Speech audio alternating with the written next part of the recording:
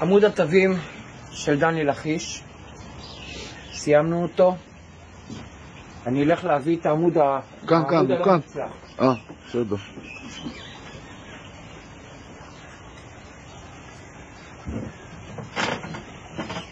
הנה מה שקרה כאן. את הרגליים האלה שברנו בשוגג, אז עשינו עוד זוג רגליים אחר.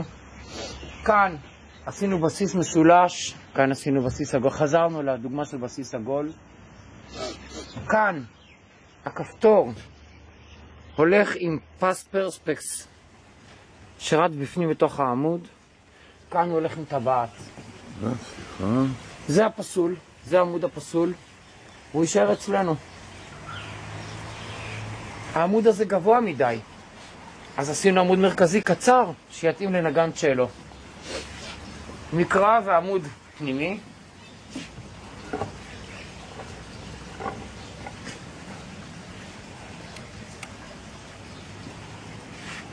זהו, והנה אלי אדמית מגיע עם הפרויקט שלו, של הספר.